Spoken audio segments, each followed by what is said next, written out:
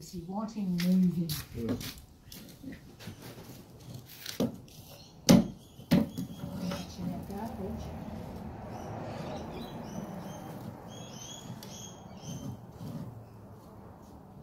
I've the lurk.